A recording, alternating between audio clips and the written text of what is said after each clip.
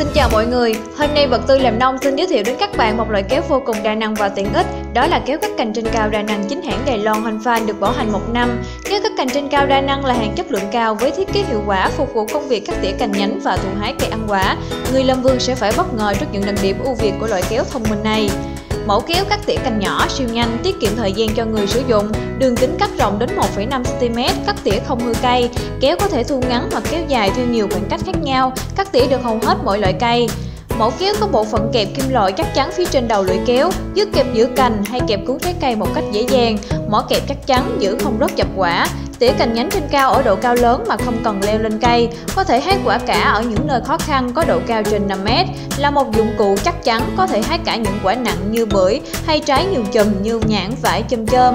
Đặc biệt sản phẩm kéo có gắn cưa kèm theo để cắt cành to và cành cây trên cao mà nhẹ nhàng không tốn sức. Kéo có lưỡi cắt siêu bán, dao thép được gia công tinh luyện, tay cầm chắc chắn, tay bấm nhẹ nhàng, thiết kế truyền lực tiên tiến bên trong thân, lưỡi cưa sắc bén dễ dàng tháo lắp, thanh hợp loại kim nhôm, nhẹ, bền nhưng rất cứng cáp, chịu được sức mạnh, có độ bền cực tốt, dùng không sợ gì bị kỹ sát. Còn chần chờ gì nữa mà không sở hữu ngay một sản phẩm kéo cắt cành trên cao đa năng chính hãng Đài Loan Hanfan được bảo hành trong vòng một năm với chất lượng uy tín và hiệu quả. Cảm ơn các bạn đã xem video nhé!